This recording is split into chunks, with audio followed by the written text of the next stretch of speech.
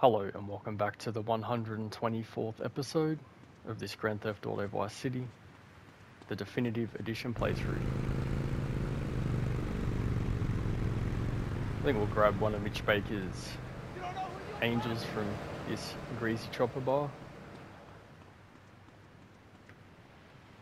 Working hard so I can get another station wagon with even more wood on it. Go on. Tell me more about your family. Uh, well, I like to compare it to nature.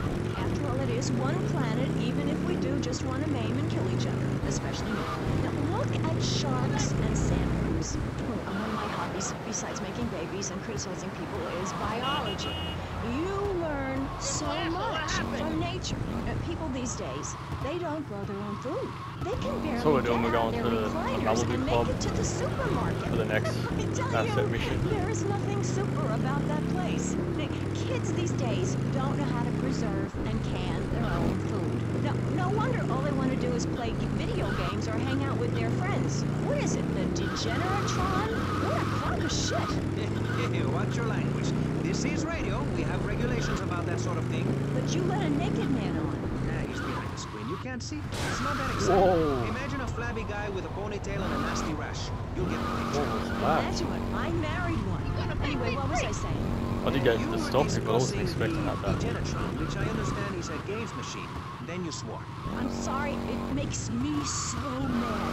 I mean, what I heard my son, Patrick the third, I heard him using slang words in the house the other day. Rad and cool and you living, girl? Excusez-moi. And I'm like, whatever. This is the driver. Things are starting to come together nicely here. What's the plan, Tommy? Que pasa, amigo? The plan is you keep doing that like a moron. Anyhow, we need a driver. Tommy, I'll do it. I can drive. You want Hilary, mister. Not some smart talking law school chump. Hilary's a real deal. You ain't never seen anyone drive so fast. I'll give him a call here. Hey, Hill. It's Phil. How's it going? No, don't talk. We'll reminisce later. You want to do me a favor? I got me a guy from up north. No, oh, no, I don't think he was in the service. But he wants a driver for a bit of action. Okay, I understand. What'd he say? Well, he'll do it, no problem. Well, there might be a little problem. See, he has abandonment issues. Seems he won't work for anyone who can't beat him. Something to do with his mama. Anyway, he wants to race you first. Said he'd meet you outside. Okay, Hilary, let's race. Why can't I meet someone normal for a change? You Tommy? Oh, of course you're Tommy. I mean, why else would anyone want to speak to me? Okay, consider it this way. I'll drive for you if, and only if, you can drive properly. Leave me alone, and I'll never forgive you.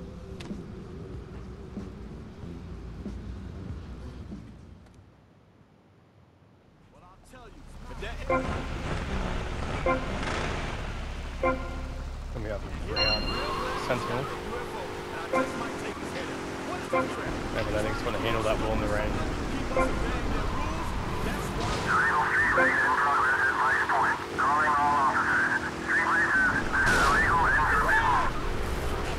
He's a proper driver for you, Hilary.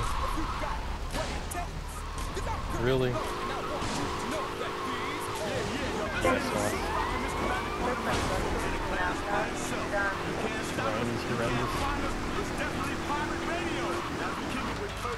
Okay, we're taking the lead. How long? That remains to be seen, not long at all.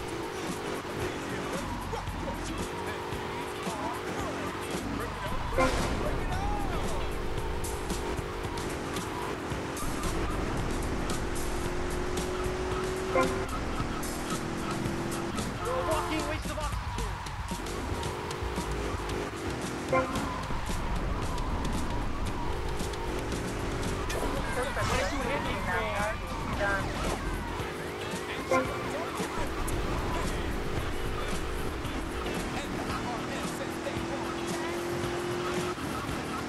down, Hilary.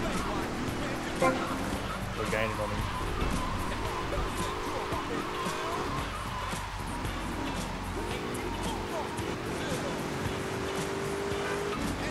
Thank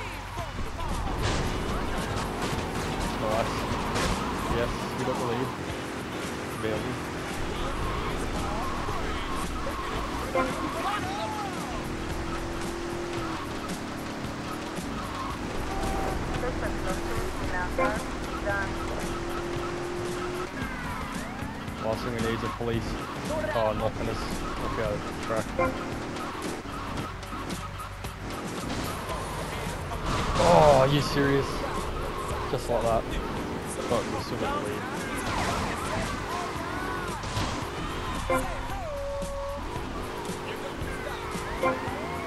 And there's the finish line, and we've won. Okay, I'll drive for you, but please treat me bad. Mission pass, $3,000 for the reward, and a 2 minute and 23 second race time. And Billy wants us to treat him bad. But we already did that by crashing into him intentionally. I'm sure he liked that. Anywho, let's head to the Malibu pod because we're here. Get out of the way! have our first rest. This location. I hope you enjoyed this episode, and I'll see you on the next.